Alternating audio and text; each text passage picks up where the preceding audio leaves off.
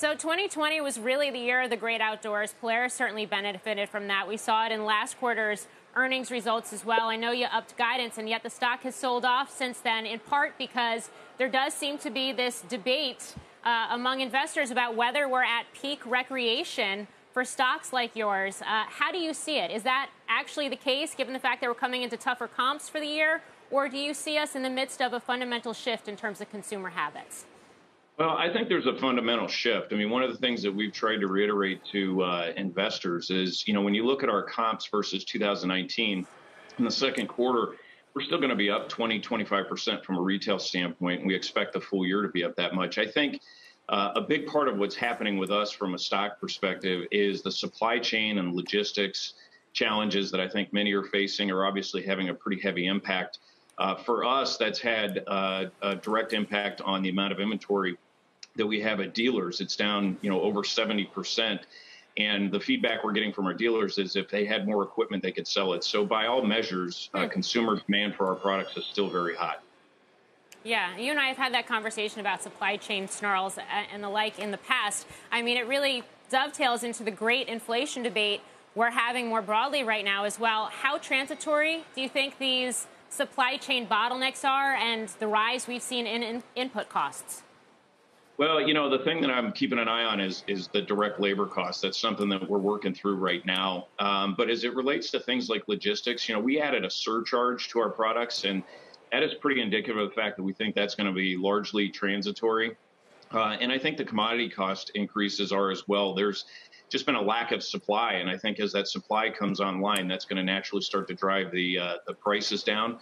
And a lot of what we're contending with is paying things like expedited uh, freight because we can't get things through cargo uh, on the water. So we're, you know, air shipping, and that's, you know, gone up threefold because there's a lot of folks that are going through and doing that. So it feels like there's a fair amount of this that'll subside once the supply chain right sizes itself. But, you know, time will tell.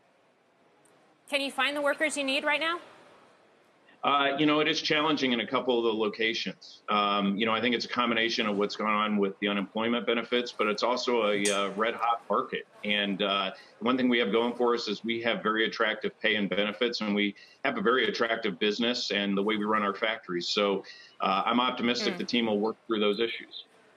Let's talk trade for a second. I mean, President Biden is, is in Europe meeting with G7 leaders, has already signaled that we're going to likely see the end of these reciprocal tariffs that have been in place on goods, including the duties that have been levied on U.S. motorcycles that have been imported into Europe. I mean, your competitor, Harley Davidson, at least on the motorcycle side, really got all the attention, all the negative publicity back in 2018 when it said it was going to have to shift some production and final assembly of its motorcycles to Europe to deal with those tariffs. But Polaris also shifted production to Poland.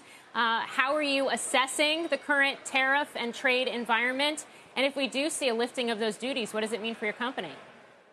Well, look, we had always had a plan to have manufacturing in Europe for our European uh, motorcycles. We were paying pretty high fees just to uh, ship the bikes uh, overseas. And so the plans that we had to manufacture in Poland, which we already had a facility that was doing off-road vehicles, we simply just accelerated that.